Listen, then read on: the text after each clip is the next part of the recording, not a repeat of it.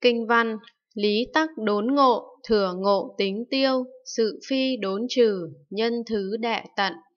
Việt dịch, lý tức ngộ liền, nhân ngộ mà tiêu trừ sạch, sự thì chẳng phải trừ được ngay, mà phải theo thứ lớp mới dứt được. Giảng, lý tức ngộ liền, nhân ngộ mà tiêu trừ sạch, ông có thể đốn ngộ ngay phần lý, khi ấy tất cả đều tiêu trừ cùng một lúc. Quý vị đã hiểu được quy luật này rõ ràng rồi. Khi quý vị đã ngộ đạo rồi, thì phương pháp tu tập mà quý vị đã áp dụng xưa nay đều được ngưng lại. Cả ý niệm về ngộ cũng tiêu mất luôn. Nếu quý vị hiểu được nguyên lý này thì ngay cả khái niệm liên quan đến ngộ cũng tiêu dung. Sự thì chẳng phải trừ được ngay mà phải theo thứ lớp mới dứt được.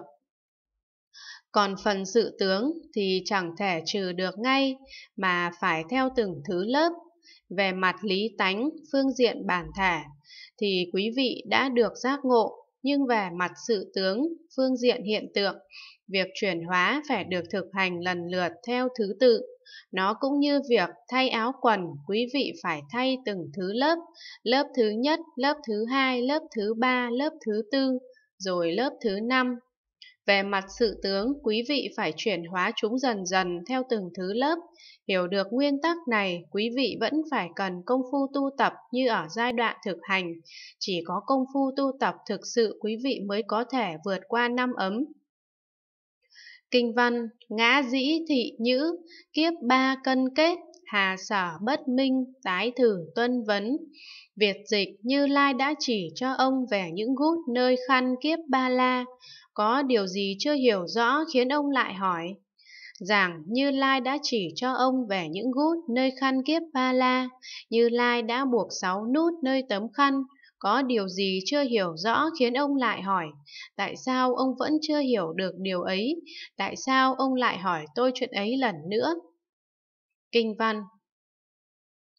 Như ưng tương thử, vọng tưởng căn nguyên, tâm đắc khai thông, truyền thị tương lai, mạt pháp chi trung, chư tu hành giả, linh thức hư vọng, thâm yếm tự sinh, tri hữu niết bàn, bất luyến tam giới.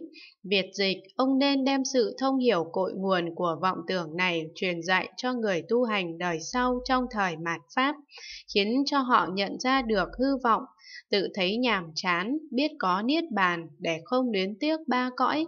Giảng A Nan, ông nên đem sự thông hiểu cội nguồn của vọng tưởng này truyền dạy cho người tu hành đời sau trong thời mạt Pháp.